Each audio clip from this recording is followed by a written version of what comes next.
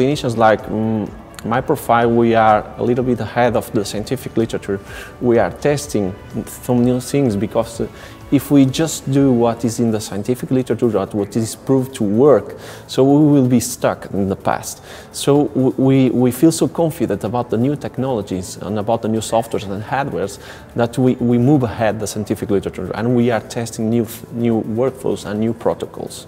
Right now with digital workflow and with CAD-CAM, we can solve uh, some issues that we have in the past and in a much more um, easy way and much more visual with more great communication between the lab and the clinician.